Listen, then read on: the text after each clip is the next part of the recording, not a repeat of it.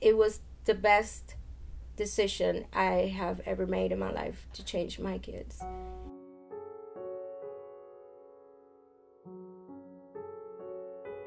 A couple of experiences, um, kind of like bad experiences uh, uh, with the public schools, um, middle school specifically, because elementary was not that's bad. Um, I decided I need I need a different education for my daughter.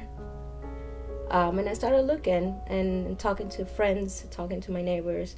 And uh, one of my neighbors had um, her son, her youngest son, in a uh, daycare. Next to the daycare was Forest City. And she said, Helena, go check this out. Let's go check this out.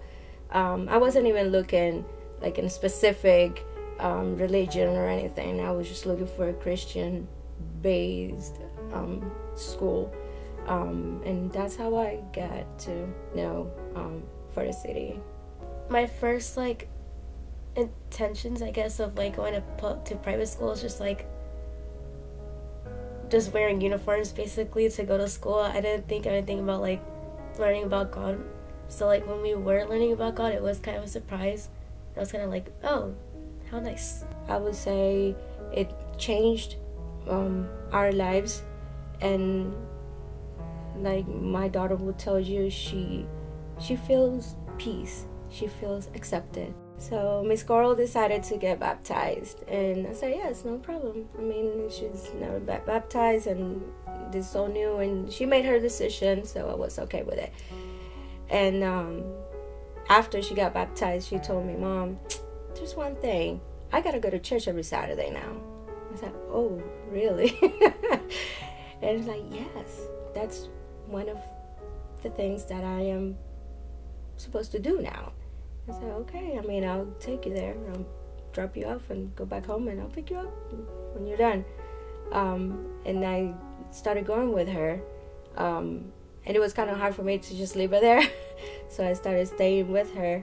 And, um, and again, it, the environment even the teachers were, uh, that I saw at the church, you know, and, and that feeling and you know of, of uh, feeling um, welcome and part of like a family, like a, a big family. It, it, was it was nice. It was good. So that's how I started going to with her every Saturday.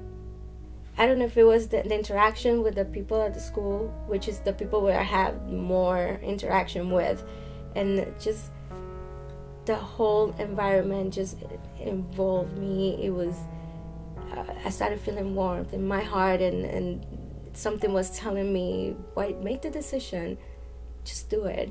You know, just do it. just give your life, say yes. And that's what I did. I said yes to Jesus and I said, this is what I want. And I want to be one of those that He will say, you know, you come with me. So that's why I made my decision.